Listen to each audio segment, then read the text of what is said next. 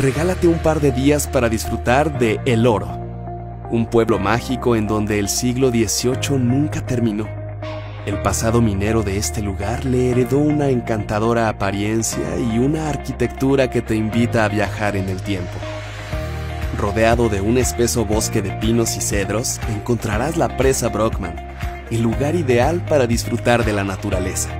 Edomex, tan mágico y tan cerca de ti.